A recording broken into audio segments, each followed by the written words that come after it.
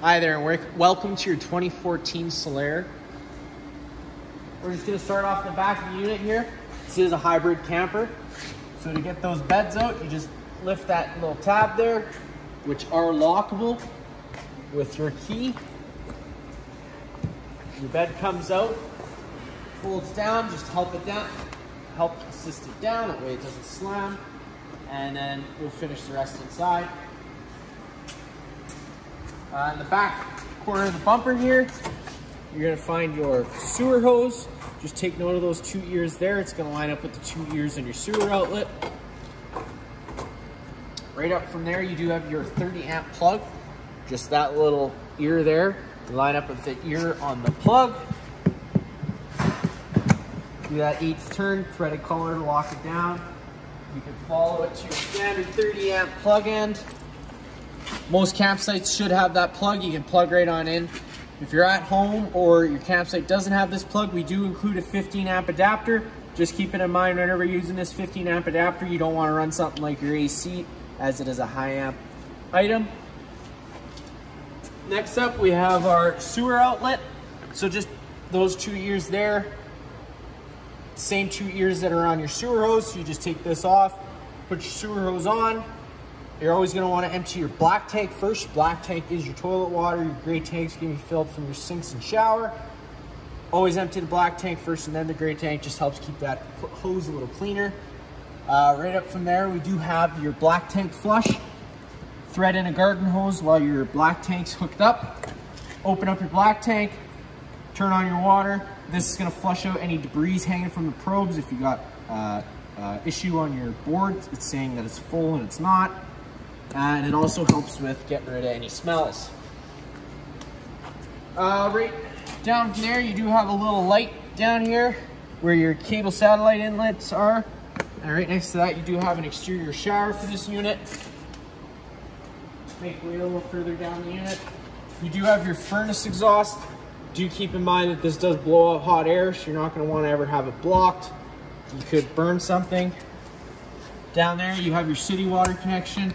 You're out of sight with service, plug your garden hose in on here. You get pressure to all your lines, no need to run your pump. Uh, right next to that is your freshwater inlet you fill this up, it fills the fresh water tank uh, underneath the trailer. That's what your uh, water pump draws from. Uh, right here, you do just have some storage. Inside this storage compartment is where you're gonna find your 25 foot water hose and your 15 amp park adapter. And this black box here is where your battery is located. At the end of the season, you're just gonna wanna disconnect that. Underneath here, you have your two barbecue style propane tanks. This is gonna be the only way to get the propane to the unit. Uh, take note of this little black selector. You're gonna wanna either turn that to this tank or that tank, depending on which one you wanna draw off of. Just making sure if it's pointed this way, you're drawing off this tank. To open that valve all the way. Now you have propane running through the unit. This unit does have a manual front jack. Uh, just more storage up front here. Right here is where you're gonna find your water heater. Before you ever fire up your water heater, you're just gonna wanna give this little pressure relief valve a pull. If the tank was full, you would have seen a little shot of water come out, letting you know that it's full. You're not gonna wanna fire it if it's ever empty. You do run the risk of burning out any probes. While we're inside, I'll go over a reset procedure. The button I'm referring to is just right here.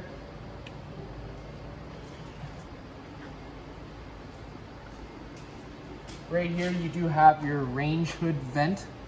Just whenever you get to your campsite, just loosening off those two little tabs allows that to be open. Whenever you're using your stove inside, you're always gonna wanna make sure you have that fan on, evacuating the fumes. Whenever you go to travel again, just locking those tabs, keeps dust from getting inside.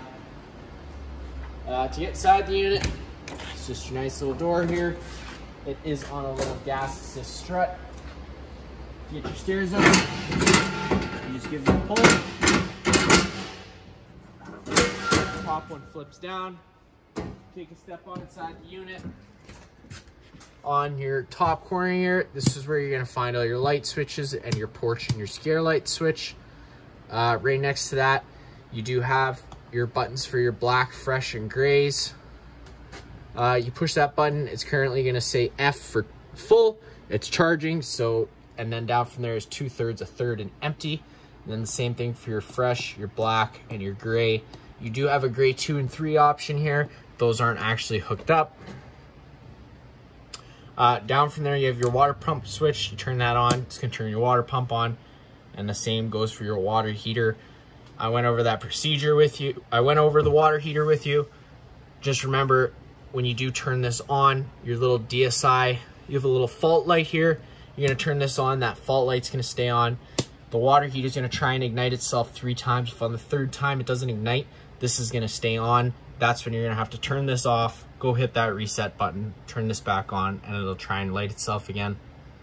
On the right, on the right of that, you just got your slide out button. So you're gonna hit that slide out button, hit that slide out button out. When you hear the motors click, that's when you know you're fully extended. There you go, it stopped. You do have a little battery voltage gauge here. Uh, you have your awning awning button here. So the way that works, you just hit that awning button to extend. It's gonna make its way on out. You're gonna know it's fully extended when you see the little flap hang down in the back of the metal tube.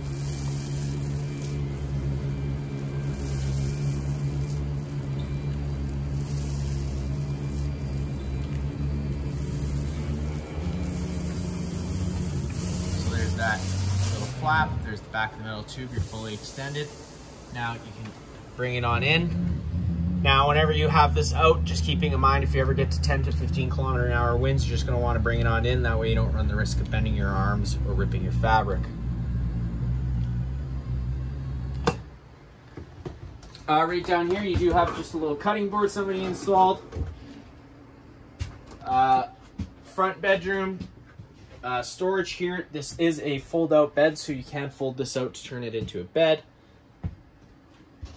You got a sink with hot and cold water, stereo, just like home, power button. You have your different auxiliaries, so on from there. Just more storage in there. You do have your microwave as well as your range hood. You got a butt, the light and the fan. Always running the fan if you are running the stove. Now, the way you run that stove is you turn those knobs to light. You hit that top burner ignite button and they should light up.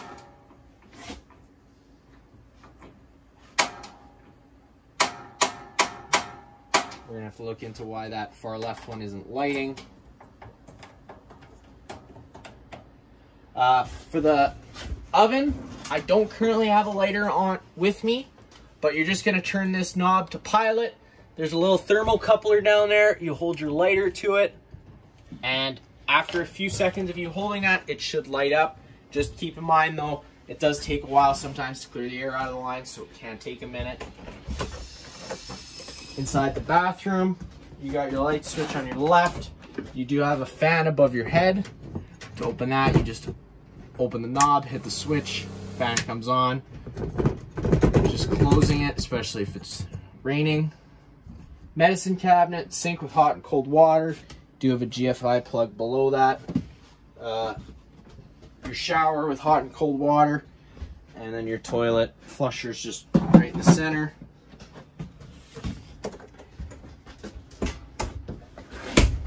Come out of here, and you go over to this bed section. This is the bed section that we did open up. You have this long black bar. It's gonna line up with just that little knob there on this black pole. You line it up with the flat part of this black pole. You just connect those two together, push it on out. There you go, it's on out. And now in the roof here, there's just that little silver tab that this pole locks into. It's locked into place. You do have a light here above your head. And then the mattress just folds out inside that bed space there. That is the same for all three beds in this unit. They work all the same way. Right beside the third bed here, you do have your thermostat. So you hit that button, you're gonna come into fan. Now this is just the fan running and you can go between high and low fan. It's on auto.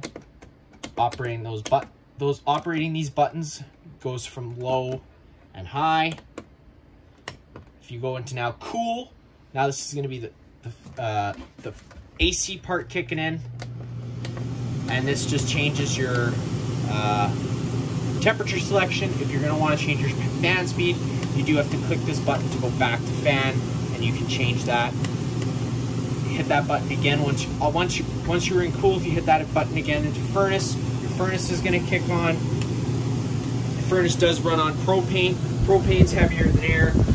It's going to sit on the ground, LP detector, which is right here, is going to detect that. If that ever starts going off, just always making sure you're going to turn off the propane to the unit. Open up any windows, let air out. Right down here, you're going to find your main GFI plug. If you ever have an outlet that's not working, you just hit that hit, hit that reset button. Resets the plugs. Go try that outlet again. Uh, you got your fridge. Right below your fridge, you have your converter. Just hit that. That pops on open. You have circuit breakers here. If a breaker is popped, it's going to sit in the middle, so you're just going to have to turn it off and then back on to reset it. And then you have all your fuses here.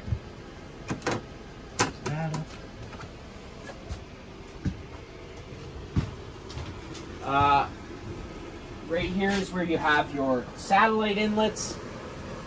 If you hit this little button here right next to your satellite outlet, it's going to turn a little green light on. That's going to turn the antenna on the roof on. It will improve your stereo frequency if you have that on. That's going to be about it for this unit here. If you have any questions, feel free to give us a call.